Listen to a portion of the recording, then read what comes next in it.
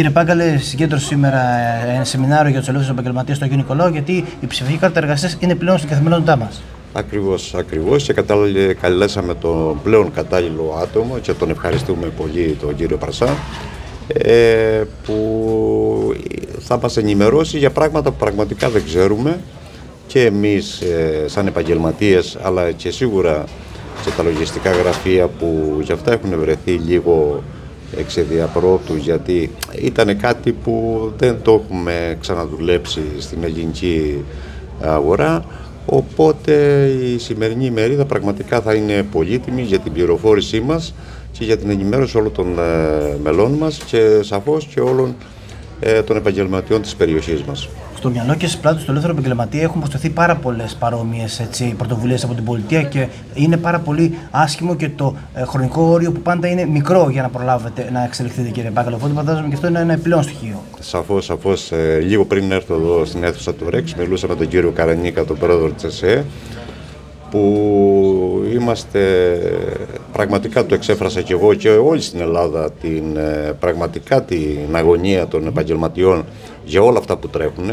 Ε, μην ξεχνάμε ότι εννοείται 1η Μαρτίου ξεκινάει η διασύνδεση των ταμιακών με τα ΠΟΣ, κάτι που ε, μέχρι στιγμής δεν έχει ολοκληρωθεί από ό,τι μου ε, διαβεβαίωσε και ο πρόεδρος της ΕΣΕ, ο κ. Καρανίκας, ούτε το 15% ακόμα και αυτά που έχουν συνδεθεί στην ουσία δεν παίζουν. Ε, σίγουρα θα πρέπει να δοθεί μια παράταση και είναι κάτι που ζητάει όλος ο εμπορικός και όλος ο επιχειρηματικός κόσμος της Ελλάδας αυτή τη στιγμή. Δηλαδή, εμείς ό,τι ήταν να κάνουμε σαν επαγγελματίες το έχουμε κάνει, το έχουμε τρέξει, αλλά δεν είναι στο χέρι μας.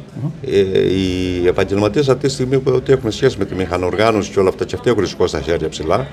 Ε, οι εταιρείες που διαχειρίζονται τα πόστον ε, για τις επιχειρήσεις δεν έχουν κάνει στην ουσία ακόμα τίποτα, οπότε δεν υπάρχει περίπτωση να είμαστε όλοι νόμιμοι μία Μαρτίου. Όχι, ε, θα είναι ελάχιστοι, ίσως και κανείς.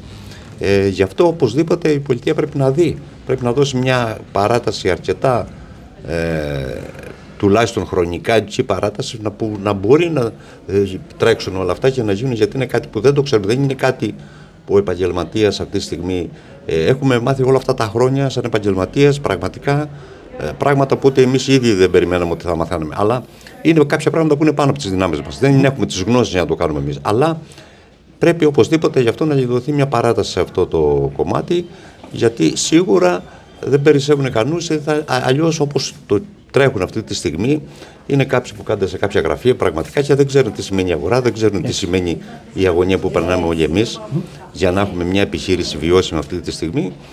Ε, γι' αυτό πρέπει οπωσδήποτε να γίνει κάτι γιατί πραγματικά αυτό θα είναι η ταφόπλακα τουλάχιστον για τη μικρομεσαία επιχειρήση της Ελλάδος.